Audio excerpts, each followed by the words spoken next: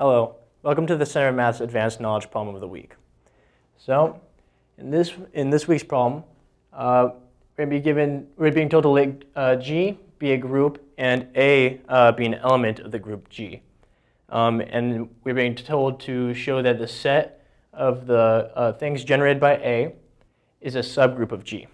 So let's get started.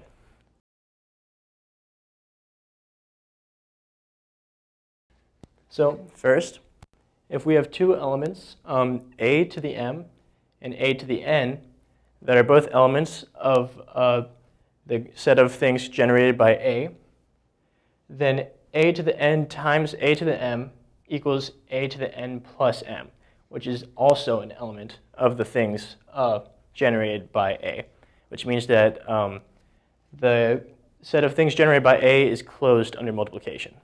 So that's the, uh, that's the first thing that we're after. So we know that it is closed under multiplication.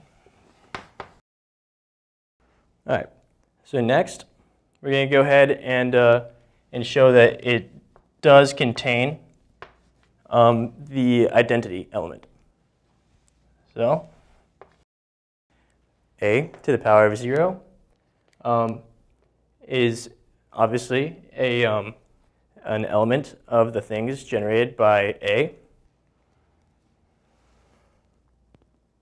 And that is an A to the power of 0 is equal to the identity. Um, and th therefore, the identity is an element of things uh, generated by A. All right, moreover, um, A to the n, an element of the things generated by A, um, to the negative first is equal to a to the negative n, which means that um, this set of things generated by a includes all inverses.